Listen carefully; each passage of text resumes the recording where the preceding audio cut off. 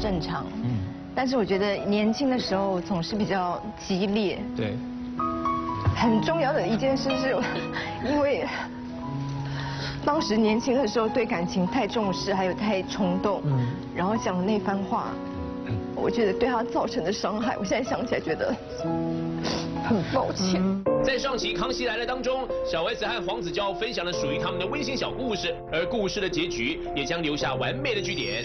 分开之后又陆续的就停掉、停掉、停掉，对，就是不会跟这有关系。我不知道，这我没有办法保证有关系，但是他确实就是在那段时间之后一个一个停掉，然后持续三四年没有节目。可是你就越来越红哎，嗯，这个有点不好意思啊。应该的，应该的。后来发现他这么有才华。任何情侣都是你分手的时候会有前面的大概一年会很恨对方，或者是情绪很浓。当然。然后后来慢慢走过去之后，你再回想，你就会发现这个人明明我们交往的时候他很可爱。对啊，他对我很好，然后他对我的家人也很好。他常常那个约我和我大姐跟我姐夫我们去吃宵夜，然后或者就是请我们全家旅游什么的，就是这这些好的事情在你。分手的那一刹那，你会突然全部忘掉，只充满恨。嗯，我觉得这是很可怕的事情。一时的盲目啊。一时的盲目，可是后来现在再回忆起来，就是有很多。想到那些好的。像你讲的那些快乐的回忆。对对对，我比如说去白马，然后有一有一只黄金猎犬，那个你还记得吧？我不记得，我只记得那个。呃，浴缸外面就是满山的白雪，很浪漫。对，这这一类的，就是其实这些好的。浴缸里面是什么？浴缸外面了，它就是我稍微浴缸里面。浴缸里面是人偶。对，哦，喂，这是重点啊，不能不能因为你们哭我们就算了。是你好冷静啊。哇塞。所以黄金猎犬，白马。因为那它是一个非常会发现。一般人不会发现的很奇妙的旅游的地方，然后因为那个时候我就是我根本就不爱去搜搜搜集资料的人，都是他负责搜集资料，他就说他发现一个在白马山庄里面一个。很有品味的老板自己开了一个那个独栋的，也就是现在的民宿。民宿，对，当年还不流行。对，然后那个菜都很棒。你们俩交往的时候，是民宿还没有流行的时候。真的，真的，那时候还不流行民宿的。然后就是你要开去那个那个当时就是现在的民宿，就是要经过一段路，然后路中间有咖啡厅什么什么的。我记得我们有在咖啡厅停留，然后那咖啡厅好像有养养了一只黄金猎犬。嗯。可是后来我们是不是有去第二次？对。第二次的时候，那只黄金猎犬就死掉了。OK，这个我记得。对。所以当时以你的收入能力招待他全家去日本玩，OK 吗？其实看到他们开心就好，就是很那个是无价的嘛。其实吃一顿饭没有多少钱，大家不要想着我们是什么豪华之旅哈，其实也就跟一般一般观光客一样。但是就是你会觉得那个那个满足感，就当下我们在一起的那一刻，那每一天是很享受的。我觉得那个是不是钱的问题？不是钱的，还我还负担得起啊。请问，嗯，S 今天说出这个。对你造成的困扰的抱歉，之前你有在等待这一件事吗？不不不，这个这个是完全，这个是你仔细当中你当第十年代际啊，因为我觉得很多东西我为什么突然变台语？嗯，激动了，因为可能进入世间情的那个。因为哈。你们记得故事？他一定没料到。对，我没有料到。我我不要说没料到，我连想都不敢。就像我讲，我坐在这儿，我根本没有想过这个通告。你刚刚听到他说，嗯，抱歉这件事情，对你来讲是一个非常意外的事。惊喜，谢谢。然后，呃，就是还是谢谢。可是是你，是你放在心里很长时间想讲的。嗯。然后这么多次，你有机会碰到他的时候。因为那些场合不方便讲，在红地毯上对啊受访什么都讲不出。对啊，而且跟我老公我怎么讲啊？而且那个时候，刚那个时候也还没有这种想法，那个时候只是觉得说哦，跟他像见面是，对，是尴尬的，什么什么这这一类的，是后来慢慢慢慢到现在，这就是智慧的累积耶，嗯，就是愿意面对人生过去发生。就是我真的无意伤害任何人。然后你想放下他，嗯。其实这个故事里面有一些小桥段，我都已经觉得很温暖譬如说那个时候，呃，S 的这一群朋友啊，当然都对我一定是必须保持距离。对，可是慢慢的，譬如说，呃，我也看到啊范晓萱，她也会对我笑。我慢慢的看到，因为她可能也也成熟了，然后她也来上我的节目了。然后看到黑人，看到啊阿雅，我也去上过阿雅的节目。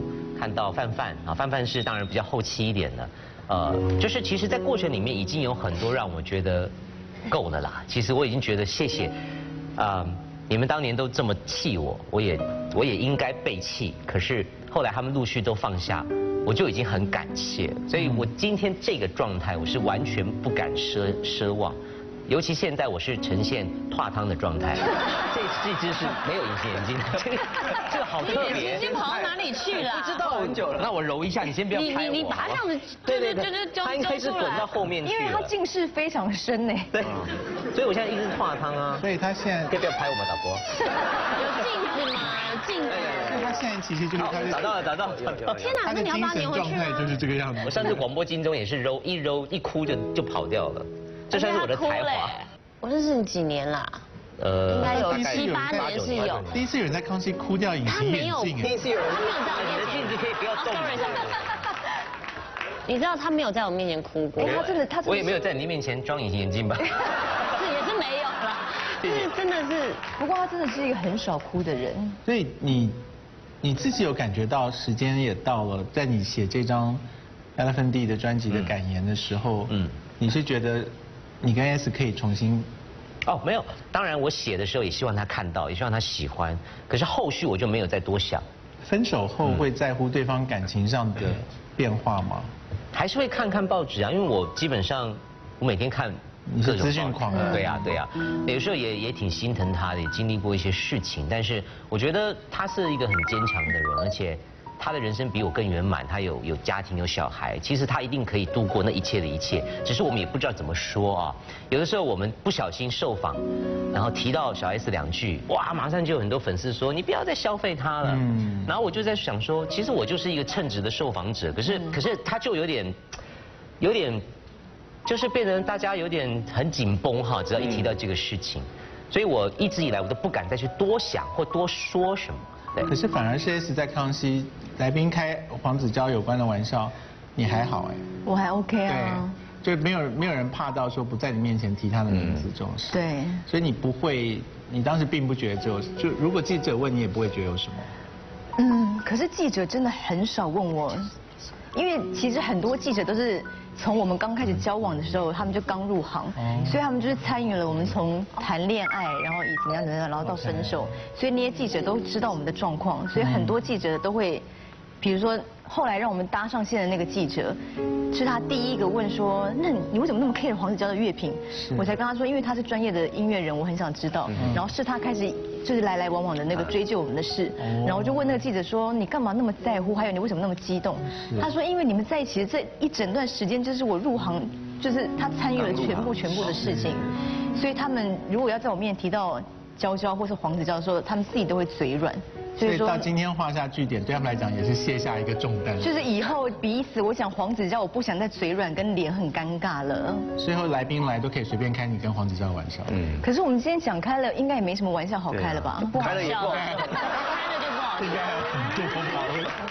所以你你有在管他后来交往的人吗？我那天跟我妈吃饭，我就说妈，你知道我们下一次那个康熙的来宾是谁？她说谁？我说黄子佼。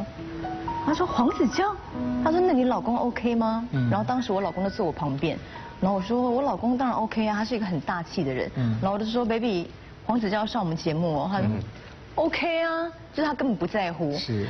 然后我妈就说他那么白。是没有别的形容吗？他就说说他很白的时候，我还想说你是要说矮还是白？然后我妈就说哦。那你跟他讲，叫他早一点那个成家嘛，因为他知道他现在谈了恋爱，是，就说赶快那个，真的哦，对啊，我妈就说赶快要结婚就赶快结一结，赶快生小孩。这件事你有跟大 S 讲吗？他要来的事？好像没有哎。OK，大 S 是会对你一直比较有保持距离的人吗？嗯，就是就是护护妹妹很亲切，这我都可以理解，我都可以理解。对对对对。像你现在交往的人这么。新 就是这么晚辈的情况下，他们应该应该根本不知道发生过什么事，所以这样特别好。不是，当然知道了，这个事情其实。哎，那请问你要上我们节目，需要跟你女友讲一下吧？呃，她当然也是都 OK，因为这个就是我们交往前，每个人都有前男友、前女友啊。是啊。对啊，我觉得虽然她比较年轻，不过因为她入社会也挺早，所以我很开心，她都也蛮蛮接受。好难得哦。对，其实她现在就在后面，你可以请来。Selina 大力赞赏黄子佼，蔡康永愤而离场。有一件事情你要问 Selina 哦，因为 Selina 有说，就是去年娇娇的事业整个就是越来越好，然后要尤其是她主持金马奖，主持的非常的好。嗯。然后她说，音乐的部分，你有特别想要跟 S 讲什么？嗯嗯，其实我该讲的大概都写完了啦。嗯。对，然后我只是呃很期待他就是。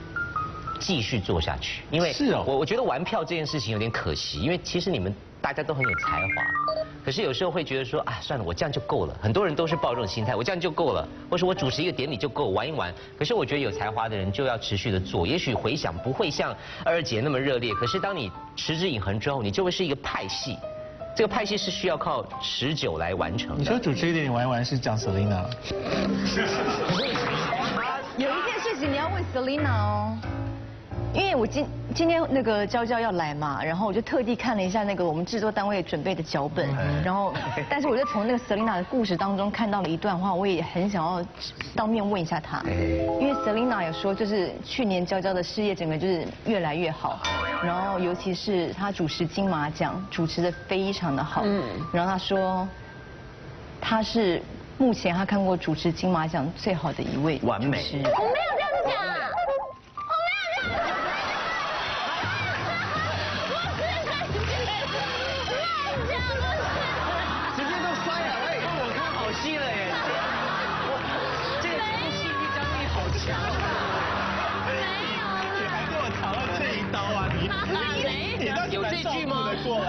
康永哥七次哎，你不要这样，不要乱讲。你要讲说他真的是主持人没有我，你不是讲说他没有没有，我讲错了。他说他是男主持人里面最好的一位。没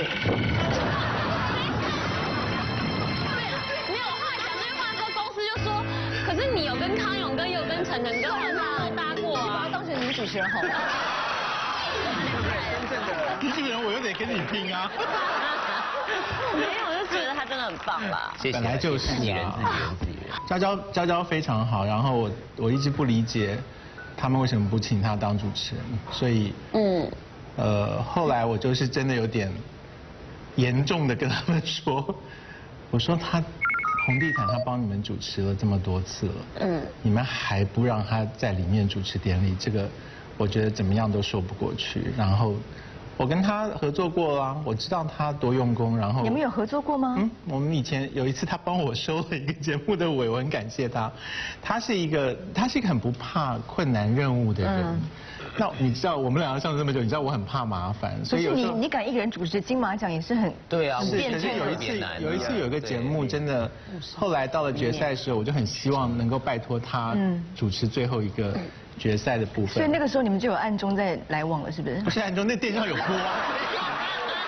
你不知道我跟康永哥的缘分是在试新的时候吗？我不知道。我教过你啊。对，那个时候康永哥从美国学成归台，还没有出道。我是学生，我就是老师课里面打瞌睡的学生。啊。然后后来隔几隔一阵子。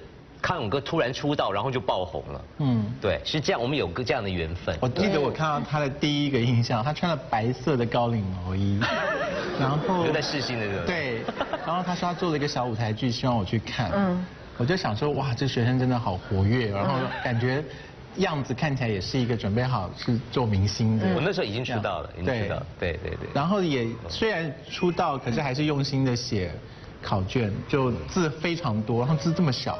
嗯，他很爱写，对，写的密密麻麻，很爱。老师不喜欢看字很多的考卷，就 他看很久。可是当时就就会觉得说，呃，这个人早就像你讲的，我认为他的才华是应该早一点发光发热，我没有想要拖这么久。可是我不理解，我一直以为你你在主持界是我的前辈啊，你就是不敢不敢不敢，你就是出道很早啊。所以你刚刚讲的那三四年低潮，应该也只不过是一个小插曲而已吧？你说讲那个那个那个三四年，它只是一个很具体的年份，可是应该是说整个就是之后哈，就是比如说节目一个一个收，没有人看，没有人找你做节目，没有人找你主持记者会，然后开始就走在路上，大家对你有敌意，或是那个眼神，路人对你有敌意，就是他们眼神都是那种指指点点。对，然后当然还有后来网络兴起之后，啊，就开始，所以到到到那三四年是最惨最惨，就是就是没有节目。嗯。可是后来我也我这个人很会安慰自己，就因为那三四年我在台湾没事。结果呢？新加坡的邀约我就有空，嗯，然后大陆我也就可以有去做节目的机会。所以诸葛亮不是常说他出国进修，深造。我那个时候才真的是出国深造。我那段时间就跑了不少海外的地方，反而学到一些不同的眼界。可是当然，你回到自己的家的时候，还是就是会有一点觉无奈。所以我就开了设计公司，我就认识蒋友柏，嗯，哎，就在那个阶段，我就做更多的副业。你认识蒋友柏？嗯，对啊。你有他的电话吗？你不是人妻吗？你后来，你后来喜欢的男生类型真的跟娇娇差很多哎，差很多。所以是什么？就是他是那个，他是那一种版本里的唯一的一个代表。我想哪哪一种版本？我想好奇的。公仔型的。比较白，比较白。跟他交往的时候，就算蒋老婆从从面前走过，也不会。可能就会看一下，想说哇，好帅哦这一类的。跟你无关。对，因为我谈恋爱的时候是很很死忠的人。可是现在你就是想把魔爪伸往每一个可能的对象。因为进入婚姻之后，你也知道。不知道。哎，有人在卖乖，你看有人在卖乖。老老公也会看。所以，哎，你婚后出专辑这件事情。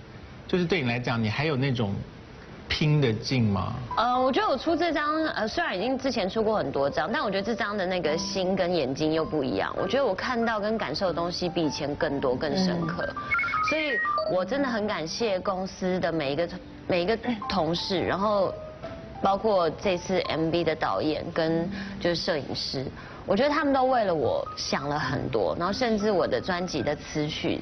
每一个人我都很感谢，因为他们真的都为了我，然后帮我写出很棒的东西，所以我是真的是抱着一个感恩的心在做。感恩然后啊，对对对，这时候真的就是很任霸上升。然后我想说宣传期反正应该也不会多长，对，那就是牙一咬就拼了。因为其实体我觉得心情还好，是体力真的没有像二十几岁的时候可以真的就不睡觉啊什么的。现在还有在乎什么销量那些的吗？本来也是有在乎，可是我觉得在乎压力太大，因为我觉得 S.H.E 成绩很好，然后田馥甄成绩也非常好，所以我觉得如果要在乎这数字，自己会做的比较有压力。那我现在就是一个标榜不被数字制约的人，我家已经没有体重机了。嗯，漂亮，圆吧。很在乎数字。不是因为现在唱片实体的销售量真的很难达到嘛？既然你在乎，没有，我不是在乎唱片卖几张，我是比较在乎排行榜，我有没有上过第一名？因为我上过很多次。OK。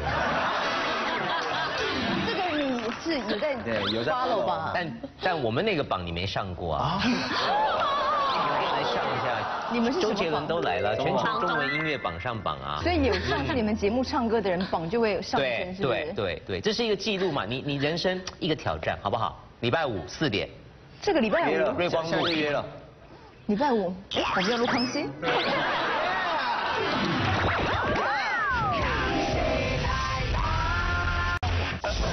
小丽娜这次新专辑的概念，这个缘，今天因为 S 跟娇娇的相会跟。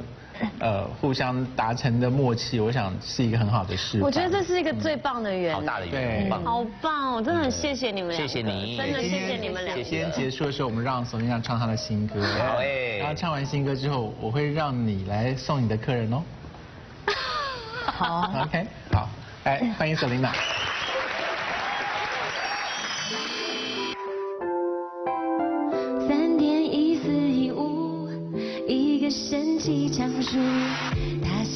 了生活最舒服的态度。这地球明明就是圆的证明无误，但世界却有太多尖锐角度。不怕面向日月亮，只要我能照亮每一个朋友的心。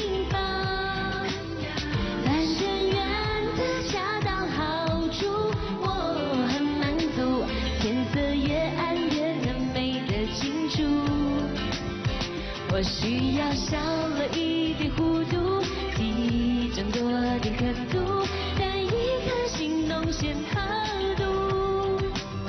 我的热情没有尺度，爱情无数，年纪让别人去在乎，不怕束缚。只要我能照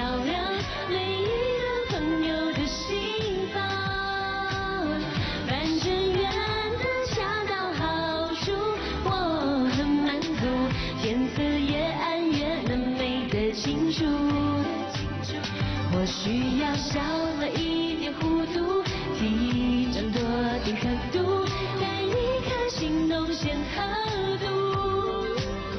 我的热情没有尺度，爱情无数，年纪让别人去猜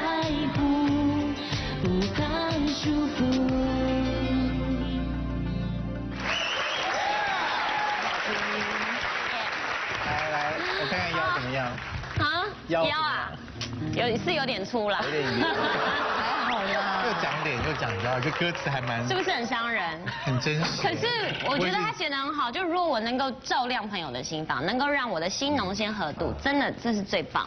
像今天我就觉得今天真的。很棒。谢谢黄子佼来康熙来了，谢谢希望哥谢谢感恩最后是不是要有一个完美的 ending？送客吧。希望接下来的人生都能够很顺利，OK，然后赶快结婚生子，不然精子会变很弱。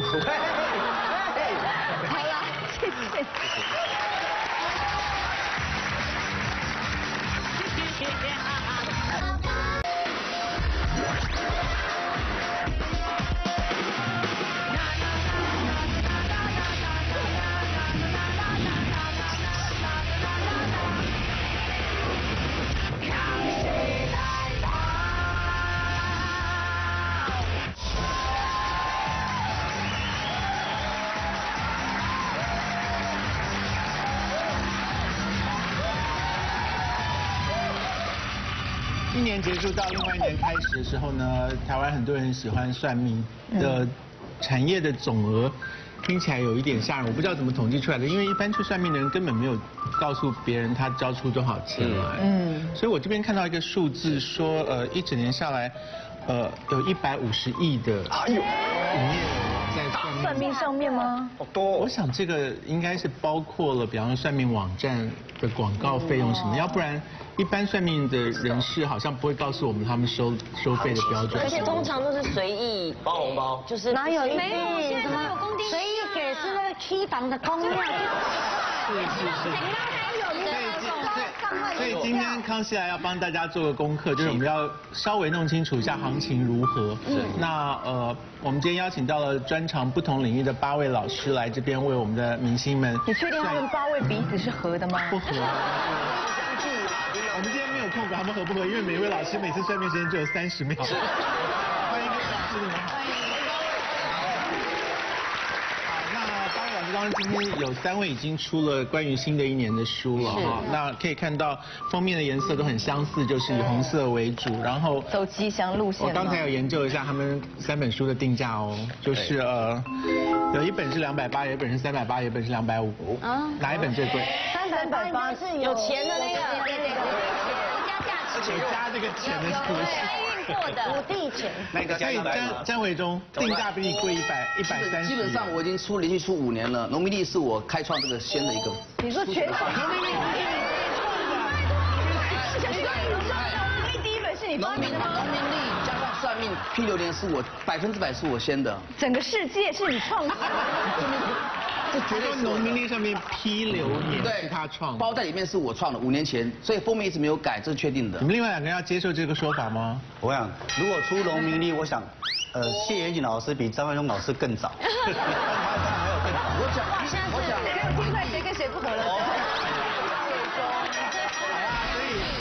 知道哈，你说你最早，他说你不是好，就先这样子好不好？因为我们今天没有空追究这件事情。反正就是呃，有三位都出了，然后其他老师们应该陆续还会在二零一五年推出新的作品哈。对那今天我们邀请三位明星呢，他们心理坚强，因为他们常常去算命，所以应该不至于在节目当中被算之后就痛哭流涕。就没错你们常算嘛，对不对？我每天都在算。所以他们三位呢，理论上就是今天听到任何的对二零一五的预言，他们应该都不会太害怕，因为你们就是有经验。糖算也麻痹了，我们算命的次数比用健保卡还。不爽也是要算命，一定要算！对了有没有？不然可能有踢到灰指甲也是要算命吗一定？要一直他们三位当中有一个有一位真的很怪异，就是他他去算一个老师，然后那老师说。你没有偏财运，所以你不要买彩券。然后结果他呢，就某一天心血来潮，就很想买彩券，他就去跑去彩券摊，可是他就没有买，因为他想到那个老师警告就没有买。然后就开奖出来呢，竟然号码就跟他本来想要买的号码是一模一样。结果这个女生竟然不是痛惜说他损失了这一笔财富，而是说如果我买了然后中了我就会死掉。有这么相信算命的人？老师是说万一中了就会死，是不是？好，OK，为什么我是这是我的事那你一定要买了才知道你会不会死啊你知道为什么我会相信？因为我妈妈她以前有一个好很好的姐妹淘，她也是终身就是以前都买爱国彩券，然后爱国彩券就是他从来也都没有中过，结果突然间有一天他就跟我妈妈讲说，哎，我中了五百万，头奖我中了五百万，然后结果后来不到一个月，他又开口就跟我妈妈他们讲说。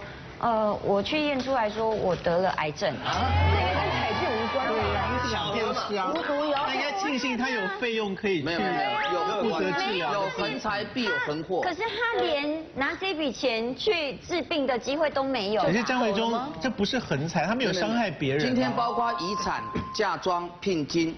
突然的业务的提升，卖房子赚大钱，有横财必有横祸，有一好没二好，上天是公平的。那如果突然接到一个广告代言，然后酬劳不错，这样也会死吗？你你接到之后，可是你要从这个地方有又有地方会破，家人要跟你拿钱。看张伟哥明天接不接广告代言啊？是窗帘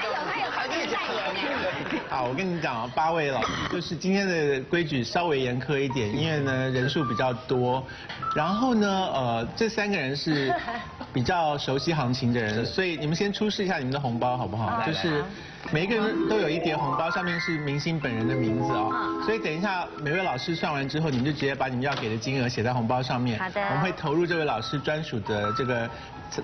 财务箱当中哈，然后就会我们就会计算今天各位老师们最后得到的收入前三名，我们不会不公布后三名，我们只会公布前三名啊。那所以各位老师今天有一点这个竞争的意思，可是我们主要是要让观众了解到去算的时候大概行情是怎么样。嗯。好，S 也想要加入，所以等一下你是不知道行情的，你会乱给对我就看谁讲的比较好啊。算命不能这样吧？讲得好就给的多吗？我看讲的准不准？不是，如果是你今天诅咒我，我怎么可能给他们高价？现在这样，你那你不要录，对，就你我可以警告老师说这样子。好，你们就讲真实的，我就那个凭心情给，这样可不可以？如果说二零一五年你就是会过期呢？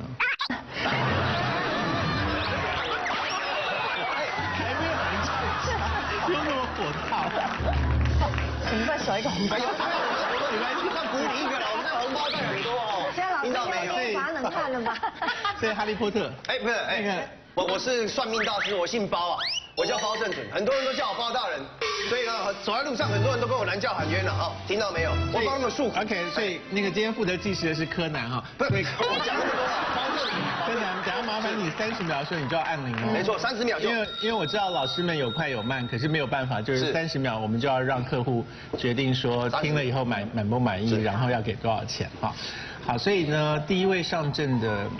陈佩琪吗？我我先问那个看起来杀伤力比较小的安格斯老师好了。哦，安格斯好。就是我曾经给老师算过八字啊，然后他就看我的命宫说，我这一辈子啊，就是婚姻就是最好不要结婚，如果遇到好男人也不要结婚。所以要问二零一五年的婚姻运吗？我什么时候才可以就是真正遇到一个好男人？而且重点是啊，我的子子女宫是空的。老师说我是不这辈子不会有小孩，他说你这辈子不会有婚姻跟小孩。对，所以你要问的是二零一五会不会发生这件事，还是说这辈子？这辈子。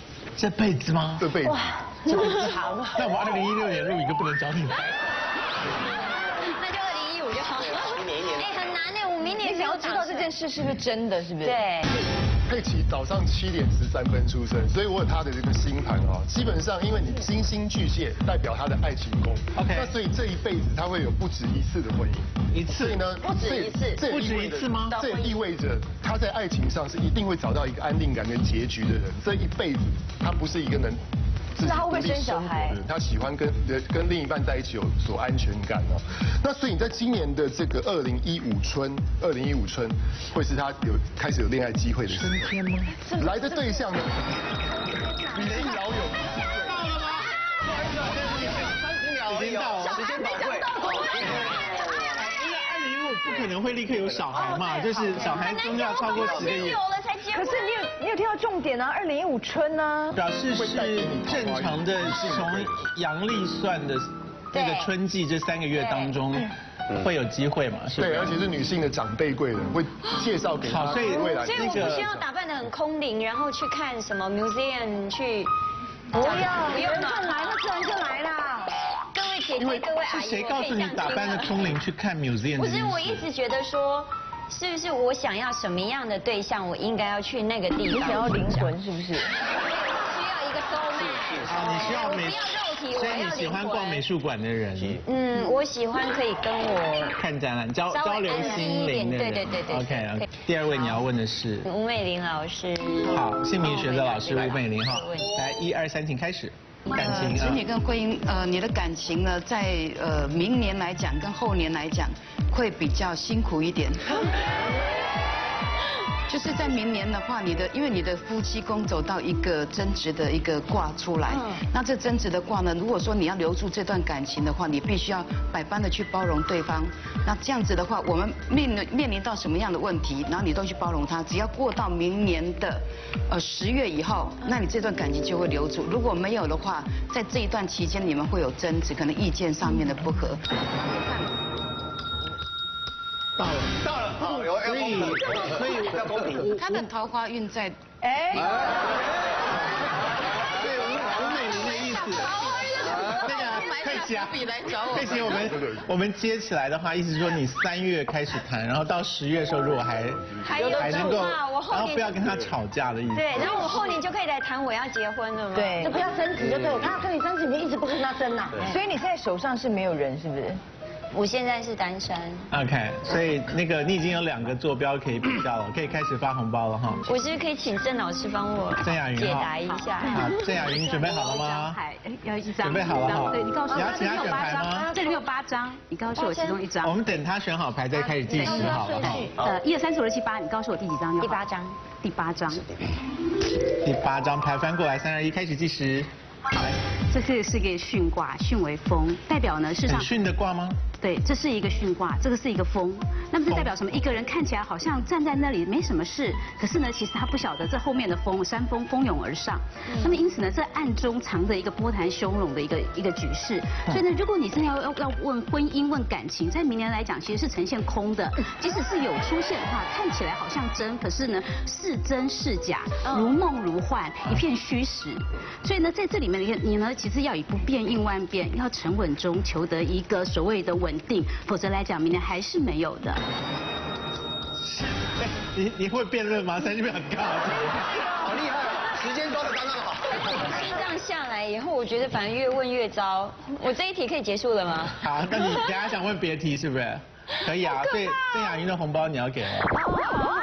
埃菲尔铁口直断，陈佩琪泪洒摄影棚。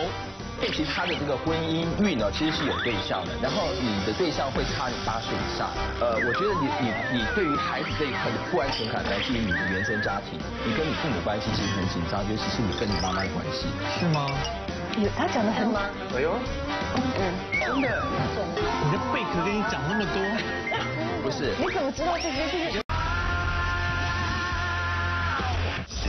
是可能会给你一些希望，真的吗？对，可是你想换，你想换问题的，对不对？你想改问哪一方面？好，我们是不是？还是你还是还是想问这一题，都可以啊。我不要了，放弃。反正我就是一个人，没关系，我养狗。不要生气嘛，你们刚才不讲，你们有生命的经验吗？我养狗，你应该要问同一个哦，真的吗？那我同意题，江波老师说他可以给我一，可有不同的答案一定不同。真的吗？不要安慰我，我要真实的哦。他要真实的哈。听我知道，听我。张博要发言了，三二一，开始吧。嗯，好，第一个，因为佩奇的佩啊，佩代表鸡，鸡代表蛇，因为今年是羊年，所以蛇马羊带三会，代表你在新的一年一定会第一个会交到新的男朋友。第二旗帜，旗帜下面这个马，马跟羊带六合，代表说你明年财运、工作各方面都很好。那如果说呃你希望呃能够交到男朋友之后可以速战速决，我建议呃羊年可以马上认识，马上怀孕生小孩，是可以这样做。但是你的夫妻宫，真正的夫妻宫，因为你生肖属蛇，在猴年，因为四生带六合，所以呃猴年结婚再来生小孩比较好。那等一下，所以。羊年是哪一年？明年。羊年就明年，二零一年。猴年呢？猴年就后年。二零一六。所以你建议后年比较稳当。对，但他如果速战速决的话，在羊年今年就一定会什么叫速战？就是一在一起就赶快做爱，然后就赶快生。对，像我这样的 tempo 了。可是你这个 tempo 很幸福哎。哎，那如果亲爱的，如果是有了小孩然后离婚，这样好吗？无所谓，有小孩一定要有小孩哦。这两个真的要取舍。我我其实我觉得我没有结婚都无所谓，我想要小孩。那你就去做一个小孩啊，不难啊，就好了。你子宫健全，小孩没有了，老公可以多换几个人。你要想也是，这个一百人生小孩对哈，而且我要去找一个混血。还没有发言的老师对这一题有意愿要讲的举手好讲？哎，那个亲爱的，红包要给张伯乐。哦，对对对，要给张老师。那还有一位女老师，就是廖小姐哈。廖一华小姐，嗯，廖老师先讲好了，一二三，开始。其实我要讲的是佩奇，她桃花非常旺，所以我相信身边应该已经有追求的对象，就是他有没有接受。第二点呢，因为你的姻缘比较多重，所以会建议你，如果你找到一个对象，他已经有小孩的，这就刚刚好。然后他有小孩的话，你或许他能够帮你带来下一个。哦，来现成的小孩。一定要有一个带的，对。所以那位可能是已经离婚的人。他必须要找一个离过婚的，嗯，他的命，他的姻缘才有办法。我理想的。OK。所以你身边真的有追，你身边真的有追求者吗？应该有多多少少多少有啦，但是因为我很宅，通常人家要介绍我就不用不用不用哦，我也懒得出去。那这样就是不够积极啊。对啊，你最好直接送来你家给你看就。所以你不排斥离过婚的人？我非常渴望是找一个离过婚有小孩，比较有经验的，现成的。因为没有经验的也麻烦。那如果小孩很大了呢？没关系啊，当姐妹啊。十几八、十七八岁这样。对，而且你知道，如果是男生的话，刚好看着也养眼睛。OK。是这样子啊。就跟爸爸在一起，其实眼里看着对方的儿子，看着那块鲜肉。还有大小。顺便帮大家解释一下，因为有一些不熟悉他们的呃算命工具的哈，你前面不是铁板吧？是算盘，出示一下好吗？算盘算命，所以刚刚有用到吗？我们刚刚之前进来的时候就算过了。OK，好。嗯，那安格斯前面是什么？呃，其实石头，我去冰岛玩的时候，十二年前，现在是学生的时候买这个。啊。就单独属于只有只有一颗吗？呃，有二十五颗，二十五。所以他一般的做法就是在手袋里面抽捞石头，OK，对，哦，或者是帮你抽。所以这是现在新流行的东西吗？也不是，因为它其实是呃最早最早的一种占卜。所以整个宇宙是你第一个玩的。因为张维忠是第一个哈。郑雅云的那副牌是塔罗牌吗？我今天的牌不属于东方，也不属于西方，而是呢，其实我们的一种塔罗结合所谓的风水。那么这是这个所排列出来的，这是易经画像，东方的图案，是东方的图案，然后也算是是西方的一个呃占卜方式，对，所以呢，因为我今天就不东不西了，因为只能用南北了。所以这个是你擅长的吗？呃，这是现成的，这是现成的，它总共有呃擅长呃，当然，其实这是我们其中的前面的都被人家选走了，对呀，奇怪的占卜方。可是这个是很准确的，嗯。艾菲尔贝壳是什么？呃，贝壳它是那个西洋的一个占卜方式，然后它是来自于就是说呃一个传说，就是说贝壳它知道世间所有人的秘密，所以如果说你要跟他知道你的贝壳应该是宇宙中第一个知道秘密。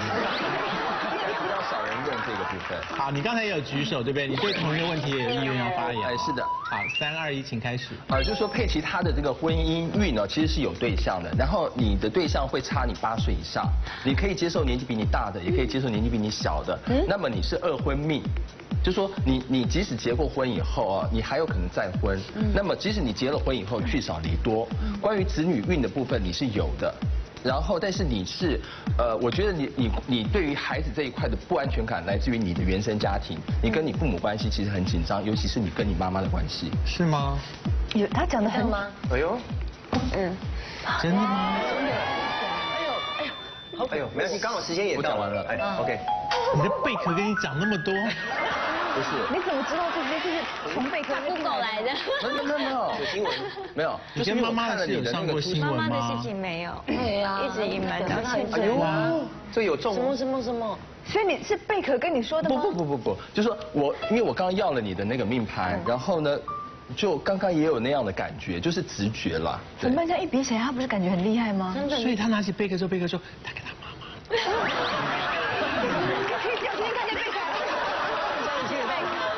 听不到，所以你那个贝壳可以打电话叫披萨。等一下，请问佩奇，廖老师红包给了吗？给了，给了。那艾菲尔的现在要给喽。再给。现在要给。廖老师麻烦你了哈，三二一，请开始。因为佩奇她本身的命格里头就是在夫妻宫上比较有一些问题，但是呢，我你可以选择用。其他的方式来做调整，比如说在楼层上面，你选择二楼或七楼，因为你手脚会冰冷，子宫的子宫卵巢下部妇科本来就比较弱，在易经里头，二楼跟七楼属于火性，但是你不要选择高楼层，超过十二楼以上，因为你本身的性格上面你喜欢有自己的空间，所以超过十二楼以上，在感情上面来说就会越来越淡薄。子女宫会有，但是呢你要注意就是可能要晚一点点。第二个呢，你可能会有开刀婆婆的机会，基本上你怀孕的次数应该会有，基本上会有三次。真正能够得到的很少。OK，三次中可能会成功一次，对，然后率蛮高的。要住在二楼，然后跟对方速战速决，这样很容易被路人看见。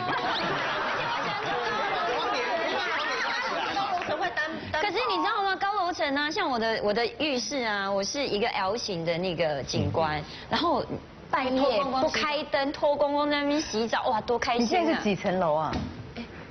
这住，我现在住几楼？十楼我现在是住九楼，但是它的相对楼层不要超过十二楼。对，因为你本身楼层越高，感情就越淡薄。不公平，不公平！九。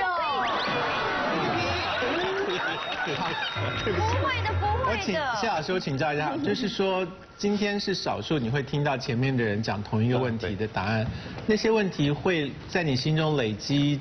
还是你不听别的老师所说的？我都是以他的八字本身做标准。所以别人说什么不重要，是不是？那你听到别的老师说，你会在心里冷笑吗？不会啊，有的讲的很讲讲的跟我的答案是一样的。OK，对。所以会在心里想说，真准，我也要去找他算吗？不过谢老师真的很像奇异果。好了，没事。你要把这个小标签贴上去对呀。你你对同一个问题有见解嘛？对不对？我非常见解，我刚后来帮他算过了哈。好，三二一，开始吧。他本身来说嫁不到好先生，但是他三十六岁以后事业财运下滑，但是可以嫁到好的先生。羊年的时候一定是跟之前男朋友做一个切割，会会一个会一个纠葛，羊年会分手或离开。但是你能熬过去的话呢，那你猴年就是二零一六的话就有好的姻姻缘，好的结果，一定要煎熬。而且你的官司哈会在这一年，你要低调，要承认，要要付付出更多。他是一个很爱家的人，为家牵绊很多，为家付出很多。OK，所以你应该来。到了吗？到了。他速度那么快就到了。到了到了。这官司的事是有这件事吗？有哎，我这两年很不顺哎，然后就好多奇奇怪怪的官司，包括那个网络上啊，可能就是我在回答别的网友的话题，可是就另外一个网友以为我在。讲他回复他，而且我是在骂他。这也会有官司吗？然后他就他就去报案，说我恐吓，对，他就去，他对，然后他就去，他他对号入座，然后他就去报案，然后说我恐吓他，然后我骚扰他。结果后来当警察，对，然后当警察打电话来问的时候啊，然后我也呈现我的证据给警察看的时候，警察就说他应该是真的有问题。嗯。然后后来这件事情就没有下文了。而到底这八位命理老师还会有哪些一针见血的分析？又会有哪些爆笑内容？别错过下期的《康熙来了》。在今年二零一五年上面来说，如果感冒啊或者是一些些状况，那这个时候是最不利受孕的时候。另外一个呢，呃，话不要讲太多，那你可能会产生就是喉咙方面的疾病。他等死掉康熙。我觉得他应该跟我记仇，因为他以前上节目的时候，我常常那个。说他整形。对。明天晚上十点，中天综合台，康熙来了。